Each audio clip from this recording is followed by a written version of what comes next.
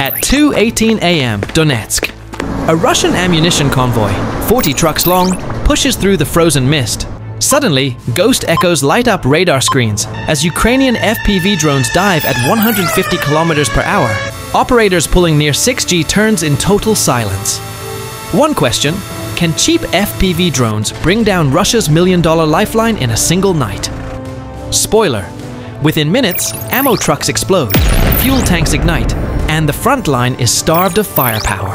In the next 8 minutes, you'll discover how FPV drones outmaneuver Russian jammers and escorts, the physics of low altitude stealth flight and terminal dives, the psychological terror when soldiers fear the invisible whine above the tree line. This is not another recycled news clip. It's cinematic battlefield analysis you won't find on TV. Did you know? Over 60% of Russian frontline ammo losses in 2024 were caused by drones. Here's the shocker a single FPV, cheaper than an iPhone, can cripple a $3 million convoy. Here's what happened. Wait till you see what happens when the third drone dives through tracer fire. Subscribe for cinematic military breakdowns. This convoy is not just trucks, it is the bloodstream of Russia's war machine. Inside, artillery shells, tank munitions, and crates of rockets. If it reaches frontline batteries near Avdiivka, Ukrainian defenders will face another week of relentless fire. But the danger cuts both ways. Russian electronic warfare teams scan for drone signals, jammers humming, antenna arrays sweeping the air like invisible blades. For Ukrainian pilots, one misstep means instant blackout.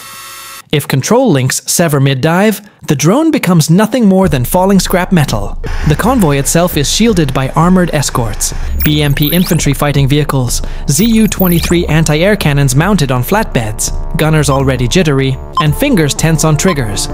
Every kilometer the convoy rolls deeper into Donbass is another minute closer to catastrophe. To stop it, the drones must thread the needle. Unseen, undetected, unstoppable. But here's the twist. The convoy isn't just moving targets, it's wrapped in electronic shields and steel guardians. So how do you sneak $500 drones through multi-million dollar defenses? The answer lies in a brutal tactical gamble. The Ukrainian operators face a brutal calculation. Engage too early, and Russian counterfire may swat them out of the sky.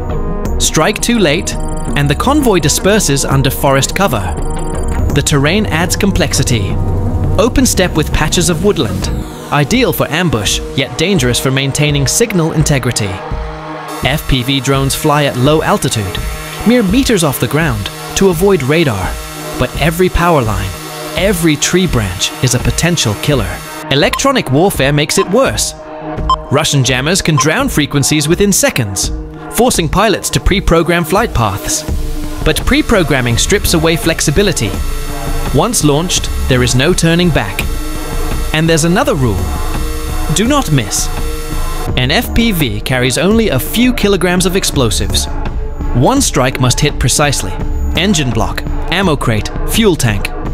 Anything less, and the convoy keeps rolling. It's a chess game played in real time, where every drone is a pawn with one purpose to sacrifice itself for checkmate. Every decision is a coin flip between victory and disaster. But what makes these drones so deadly isn't just the pilots, it's the hardware itself. And once you see what an FPV can do at 150 kilometers per hour, you'll understand why convoys fear the sky itself. This is where Ukraine's ingenuity shines. The FPV, first person view, drone is no ordinary quadcopter. Stripped down racing frames, carbon fiber arms, custom motors pushing speeds up to 150 kilometers per hour, each drone carries a warhead adapted from RPG grenades, mortar rounds, or shaped charges. A GoPro sized camera streams live video into the operator's headset, giving a cockpit view. The sensation is visceral, banking hard, diving at near 90 degree. The horizon spinning like a jet in freefall. The key is precision. An FPV can thread through a window, skim under bridges, even chase vehicles through narrow gaps. Operators talk of feeling the G-forces virtually, their stomachs tightening as the drone slams into terminal dives.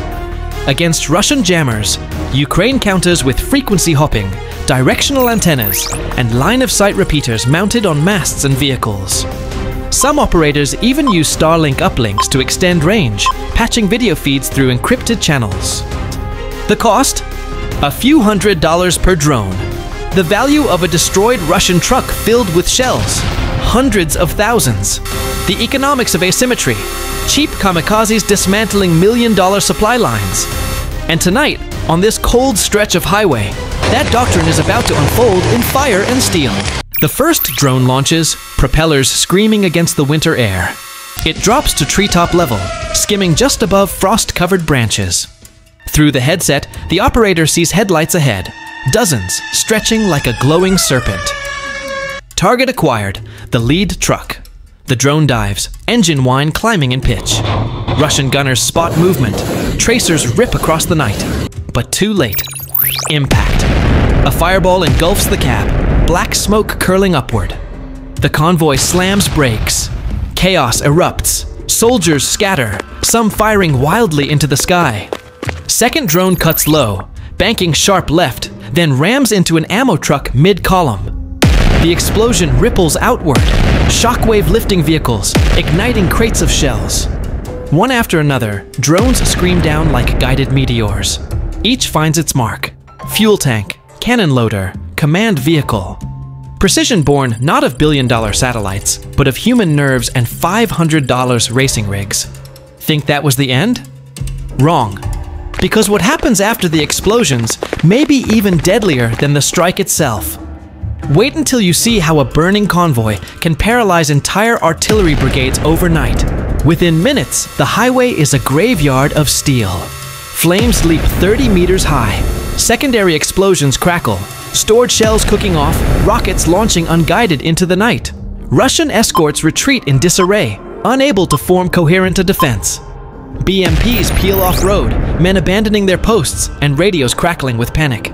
By dawn, reconnaissance confirms at least 28 trucks destroyed, hundreds of tons of ammunition lost, equivalent to silencing entire artillery brigades for weeks.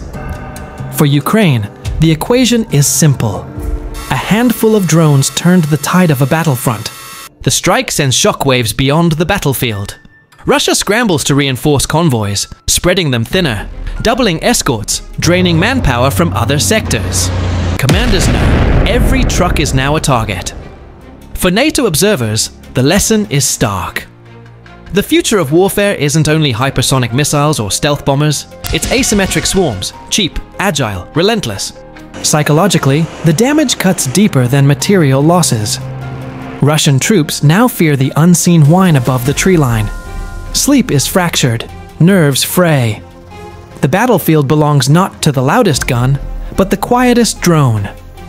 And for Ukraine, it's proof ingenuity and resolve can turn weakness into dominance.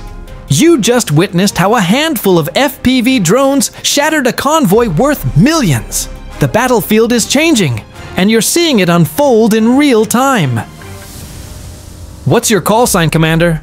Drop it in the comments and join the squad. Like, share, and subscribe to stay locked on the next mission analysis, because the war of drones has only just begun.